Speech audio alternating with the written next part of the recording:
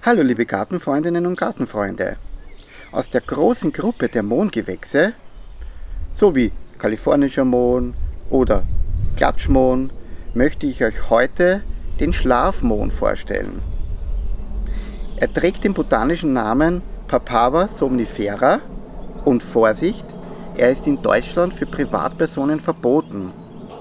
Nichtsdestotrotz möchte ich euch diese Pflanze nicht vorenthalten, da sie einfach wunderschön ist und sehr schön in bäuerliche Gärten oder in Gemüsegärten oder einfach in Blumenbeete passt.